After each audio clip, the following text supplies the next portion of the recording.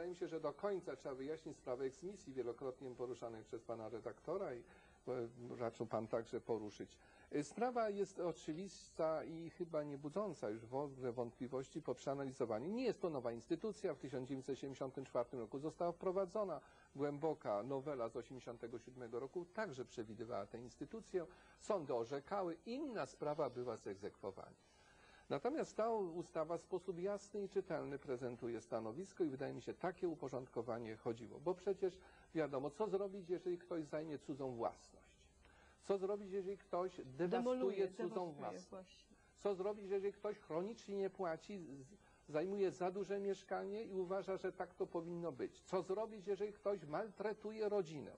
Odpowiadamy na ogół, trzeba doprowadzić do eksmisji. Sądy rozstrzygają, czy będzie mieszkanie socjalne dla tej osoby, czy nie. Jedynie w przypadku maltretowania rodziny ustawa jednoznacznie rozstrzyga, że nie przysługuje mieszkanie socjalne. A zatem problem eksmisji, jakkolwiek drażliwy społecznie, jest problemem prawidłowo, zdaniem moim, zresztą Sejmu, ustawionym i sądzę, że w praktyce będzie prawidłowo rozstrzygany. Może ja przejdę w tej chwili do innej kwestii, która y, też budzi mm, powszechne niepokoje i naraża Panią na y, liczne ataki. Nie wiem, czy słusznie akurat Panią, ale tak to jest oczywiście w opinii publicznej kojarzone i ja też będę używał takiej retoryki, będę mówił, że to Pani jest za to odpowiedzialna, chociaż oczywiście mam świadomość, że odpowiedzialne są całe duże zespoły ludzi. Chodzi o ustawę o własności lokali. E, Pani nas y, uszczęśliwiła 24, a czy no Pani, Sejm oczywiście wtedy to uchwalił, ale Powiem, że właśnie Pani nas uszczęśliwiła ustawą e, o własności lokali. E, I jeżeli mówię w tym momencie, używam już dwukrotnie słowa uszczęśliwiła, to mówię to bez żadnej ironii, bez złośliwości, e, zupełnie serio.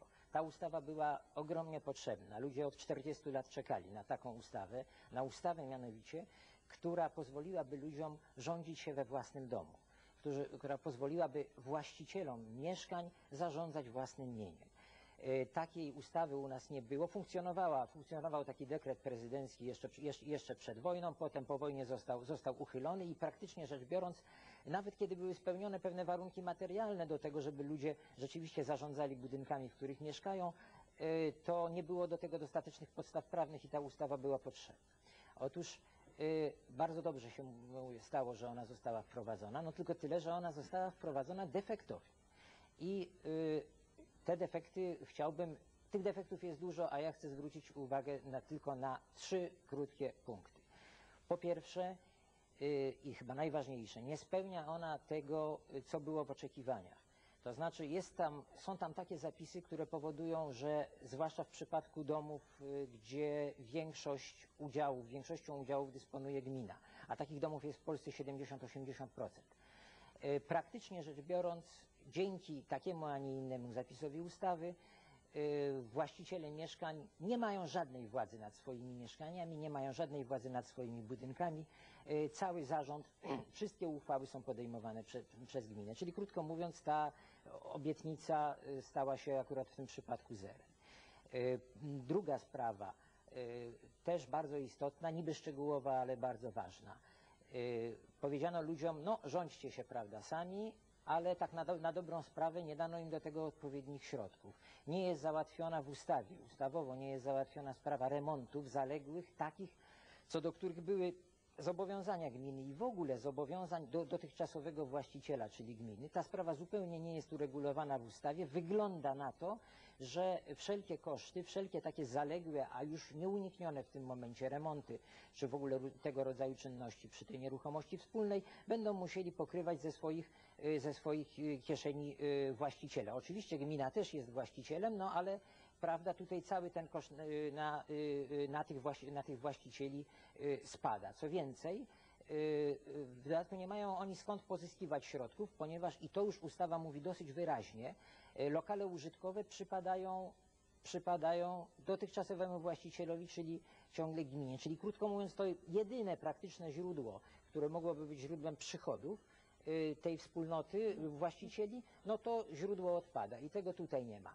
I to są tylko te dwa przykłady szczegółowe, natomiast generalnie rzecz biorąc jest pewien defekt generalny. Otóż y, ustawa y, jest w najwyższym stopniu niejasna, zawiera ogromnie dużo luk, y, wiele miejsc do nader dowolnej interpretacji i żeby było dziwniej, nie ma do niej żadnych rozporządzeń wykonawczych. Ona nie przewiduje nawet żadnych Nie przewiduje, roz- rozporządzeń wykonawczych.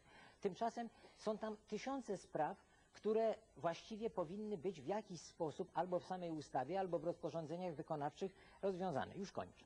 Y, Wydaje mi się, że y, to jest chyba największe zło, jakie tutaj mogło dotknąć tych wszystkich ludzi objętych działaniem tej ustawy, ponieważ są to ludzie, którzy, jako się rzekło, przez 40 lat w ogóle żadnym mieniem nie zarządzali, niczym nie zarządzali, żadnymi firmami nie zarządzali i tak dalej. I oczywiście im można powiedzieć, że oni mają zwołać zebranie i podjąć uchwałę, ale przecież oni tego nie umieją robić i nie ma żadnego aktu prawnego, który by im wskazał, jak to się robi. Można im powiedzieć, że mają założyć rachunek, prawda, i y, przez ten rachunek prowadzić przy, y, finan- Co pani tym ludziom finanse. Y, Ja I już tego powiedziałam. wszystkiego, może jeszcze, może o takie ostatnie, o, o, o, o, ostat- ostatnie zdanie. No mnie się wydaje, że pozostawiono tutaj ludzi tak dość lekkomyślnie, użyję tego słowa, pozostawiono ludzi no, w sytuacji, kiedy oni są praktycznie rzecz biorąc zupełnie, zupełnie bezradni, a już się na przykład zdarzają takie przypadki, że ludzie przychodzą do banku z jakimiś papierkami, które wydają im się wystarczające i w banku im mówią, no nie możemy wam otworzyć rachunku. Dlaczego nie możecie otworzyć? No bo nie ma odpowiednich przepisów. A ustawa, bo w ustawie jest napisane, że wspólnota ma rachunek. No to co z tego, że jest napisane, ale nie wiemy jak się ten rachunek zakłada. To tyle na razie. Tak, no więc może trzeba będzie poinstruować, jak się zakłada rachunek. Ale y, od początku y, ustawa o własności lokali nie ma delegacji, nie przewiduje delegacji dla Rady Ministrów ani dla jakiegokolwiek ministra. Y, Te sygnały, o których Pan mówi, do mnie docierają, z tym, że chcę zwrócić uwagę na jedno, że ustawa została uchwalona w czerwcu ubiegłego roku, miała półroczne vacatio legis i okazuje się, że mm, pierwsze y, zebrania wspólnot, jakie powinny były być zainicjowane przez y, dotychczasowego właściciela, obojętnie czy on jest w większości czy nie, y, czyli gminy, nie zostały w ogóle wykonane. Te, te pierwsze usterki ustawy miały szansę ujrzeć światło dzienne, zanim ustawa weszła w życie z dniem 1 stycznia 96 Przepraszam, roku. To można było, Ale- czy, czy tego nie można było Y, przewidzieć? Proszę pana, nie można przewidzieć wszystkich rzeczy, ponieważ dopiero właśnie wiele spraw wychodzi w tej chwili w trakcie wdrażania tej ustawy. Wychodzą niesprawności, wychodzą, y, wychodzi arogancja, proszę pana, w tej chwili. Bo ja panu powiem, że jeżeli chodzi o tę, tę sytuację właścicieli, którzy są w mniejszości we wspólnocie, to gdyby się y, y, y, administracje zachowały bardziej odpowiedzialnie, bardziej rzetelnie, wielu tych skarg by nie było. Bo nie musi być tych skarg. A więc część możemy położyć na karb tego, że dopiero ustawę wdrażamy, poznają ją zarówno jedna, jak i druga strona, uczą się wszyscy tej ustawy, natomiast oczywiście nie czekając na dalsze nieszczęście, y, które jeżeli miałoby jakieś wyniknąć w stosunku do tych ludzi, y, którzy wykupili mieszkania, są w mniejszości. Y, Powołałam również zespół rządowo-samorządowy i w resorcie w tej chwili gromadzimy wszystkie i inwentaryzujemy do końca tego miesiąca. Będziemy mieć zinwentaryzowane wszystkie wnioski, wszystkie y, sygnały z, od wspólnot, jakie do nas przychodzą i na tej podstawie będziemy ewentualnie przewidujemy y, w nowelizację tej ustawy, jeżeli taka po, potrzeba będzie. Natomiast y, mm, z pewnością trzeba się bardzo poważnie zastanowić nad tym, czy są te dwa problemy, które Pan poruszył, czy i w jaki sposób zabezpieczyć prawa mniejszości właścicieli we wspólnotach.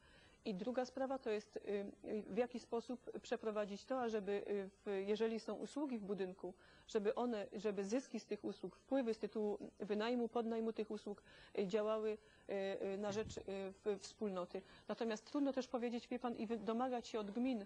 Ja wiem, że jest wiele gmin zachowało się bardzo nieodpowiedzialnie, ponieważ chcą zgromadzić środki w ciągu jednego roku na wykonanie remontów, których nie były w stanie wykonać w ciągu lat 50.